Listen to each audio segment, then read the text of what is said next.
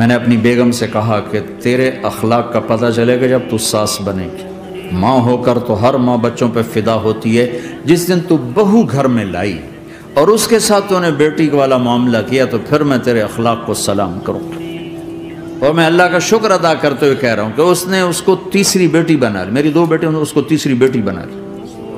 और मैंने उसे समझाया कि देखो, मेरा और तेरा यूसुफ की बीवी पर कोई हक नहीं। मेरे बड़े बेटे का नाम। मैं कहा, तेरा और मेरा आने वाली पर कोई हक नहीं है। वो हमें पूछे, उसका एहसान है। वो ना पूछे तो कभी इसे गिला ना बनाना, क्योंकि उसके ज़िम्मे ही कोई नहीं यूसुफ के ज़िम्मे है, तेरी मेरी खिदमत करे, हाल पूछे। लेकिन उसकी बेगम के ज़िम्मे तेरा और मेरा कोई हक नहीं तो अल्लाह के फजल से उसको निभाया। मैं तो वैसे ही बाहर रहता हूँ, बहुत कम। मैं तो अपने बच्चों के पास नहीं बैठता हूँ। तो मुझे तो मौका नहीं मिलता है। लेकिन उसने उसको निभाया अल्लाह के फजल करम से।